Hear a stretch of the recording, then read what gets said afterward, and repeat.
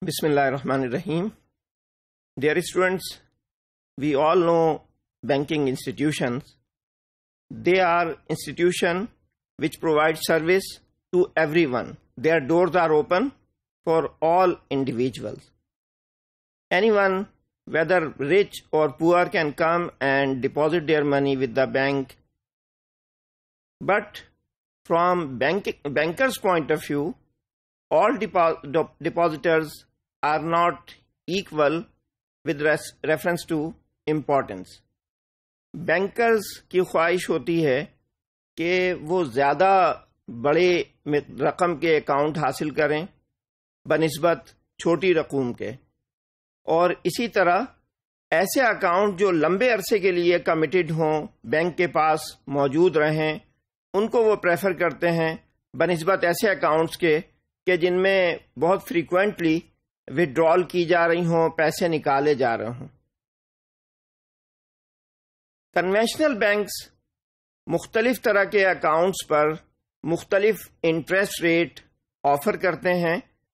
کم رقم اور کم مدت کے اکاؤنٹس پر کم شرح سے سود دیا جاتا ہے اور لمبی مدت اور زیادہ رقم کے اکاؤنٹ پر زیادہ شرح سے سود دیا جاتا ہے۔ لیکن اسلامک بینکس کوئی پری ڈٹرمنڈ ریٹ پرومس نہیں کر سکتے۔ پروفٹ ریشو بینک اور ڈپازٹرز کے لیے ابتدا میں ہی طے ہوتا ہے جو سب کے لیے ایک برابر ہوتا ہے۔ بینک ڈپازٹرز کے درمیان کچھ تفریق کرنا چاہتے ہیں اور اس مقصد کے لیے ویٹیجز کو استعمال کیا جاتا ہے۔ اسلامک بینکس مختلف طرح کے اکاؤنٹ ہولڈرز اور مختلف کیٹیگریز کے اکاؤنٹ کے لیے ڈفرینٹ ویٹس اسائن کرتے ہیں۔ اس کا مقصد یہ ہوتا ہے کہ پروفٹ ڈسٹریبیوشن کے لیے ان کی جمع شدہ رقوم ویٹس کے ساتھ ملٹیپلائی ہو کر کم یا زیادہ کنسیڈر کی جاتی ہیں اور ان پر جب پروفٹ ڈسٹریبیوٹ کیا جاتا ہے تو حتمی نتیجہ یہ نکلتا ہے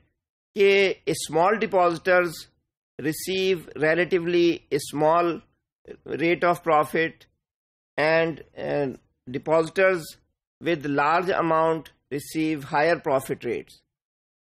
In the same manner small maturity accounts earn smaller profit rates and longer maturity accounts earn and receive higher profit rates. یہ کس طرح ہوتا ہے؟ یہ ہم دیکھتے ہیں کہ مختلف، جیسے پی ایل ایس اکاؤنٹ میں لوگ رقم جمع کراتے ہیں، تو کوئی شخص ایک ہزار بھی جمع کرا سکتا ہے اور کوئی دس لاکھ بھی جمع کرا سکتا ہے۔ تو بینکس مختلف کیٹیگریز بنا لیتے ہیں کہ اگر مثلا پانچ ہزار سے لے کے ایک لاکھ تک کی رقم ہے، تو وہ ایک کیٹیگری ہے اور اس کو ایک ویٹ اسائن کر دیا جاتا ہے۔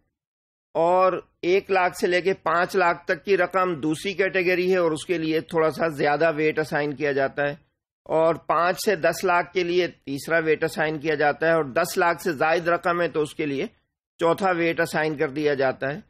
اسی طرح جو فکس ڈپازٹس ہوتے ہیں جس میں رقم ایک مخصوص مدت کے لیے جمع کرائی جاتی ہے، تو مثال کے طور پر چھ ماہ کے لیے جو رقم فکس کی گئی ہے، اس کے لیے ایک ویٹ اسائن کوئی کر دیا جاتا ہے۔ اور ایک سال کی رقم کے لیے دوسرا ویٹ اسائن کر دیا جاتا ہے۔ اس طرح سے مختلف مدتوں کے لیے مختلف ویٹس اسائن کیے جاتے ہیں۔ اور اس کے نتیجے میں یہ ہوتا ہے کہ جب ڈپازٹرز کے لیے پروفٹ کیلکولیٹ کیا جاتا ہے، تو ہر طرح کے اکاؤنٹ ہولڈر کے لیے پروفٹ ریشو مختلف نکل کے آتا ہے۔ اب اس میں یہ اعتراض کیا جاتا ہے کہ کیا بینک ایسا کر سکتے ہیں یا نہیں اور کیا یہ اسلامی لحاظ سے درست ہے یا نہیں کہ بینک ڈپازٹرز کے درمیان تفریق کریں؟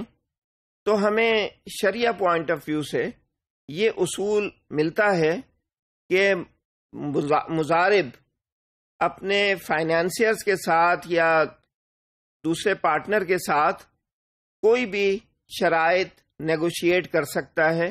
اور جو بھی ان کے درمیان شرائط طے ہو جائیں، وہ ان شرائط کے مطابق کام کرنے کا پابند ہوتا ہے۔ تو ایک ممکنہ طریقہ تو یہ ہے کہ بینک ہر طرح کے اکاؤنٹ ہولڈر کے ساتھ الگ الگ پروفٹ ریشو ڈیفائن کرے کہ بینک کتنا لے گا اور ڈپازٹرز کو کتنا ملے گا۔ لیکن ایسا کرنا عملی طور پر بہت دشوار ہوگا۔ اس کے لیے بہت زیادہ کیلکولیشنز کرنی پڑیں گی۔ اس کا دوسرا ممکنہ حل جو ویٹیجز کے ذریعے کیا جاتا ہے، وہ حتمی طور پر نتیجہ وہی نکلتا ہے اگرچہ پروفٹ ریشو تمام ڈپازٹرز کے لیے ایک ہی طے ہوتا ہے، متعین ہوتا ہے۔ تو اس لحاظ سے اس میں گنجائش موجود ہے کہ بینکس ایسا کر سکیں۔ لیکن بینک اپنی مرضی اس میں بالکل نہیں چلا سکتے۔ اس معاملے میں بالکل آزادانہ پالیسی اختیار نہیں کر سکتے۔ Bank are bound to define these weightages in consultation with their respective shariah boards and they are bound to display these weightages on their web site so that any client who want to check weightage scheme can see the web site and can get the information required to ہم۔